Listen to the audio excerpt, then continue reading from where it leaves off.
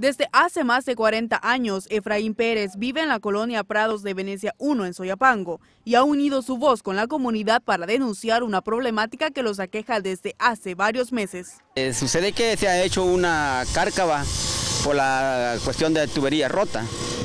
Entonces esto ya tiene ya casi cuatro meses de estar esta, esta fuga de agua y no han venido a reparar los de anda. Lo único que se ha puesto es, eh, digamos, una señal de una llanta y echarle tierra para que el agua corra en un solo canalito.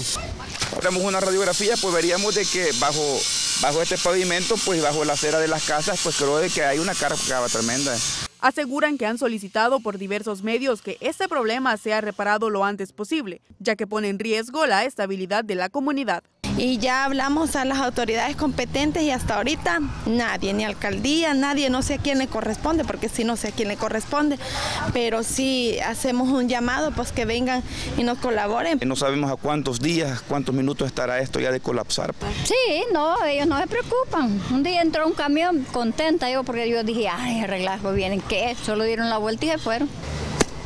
Además, aseguran que esta problemática podría causar enfermedades y que en la zona esta fuga ha provocado más de un accidente.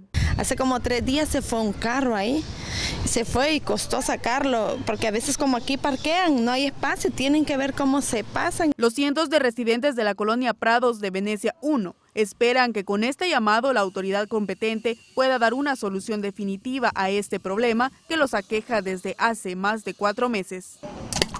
Carla Torres, TCS Noticias.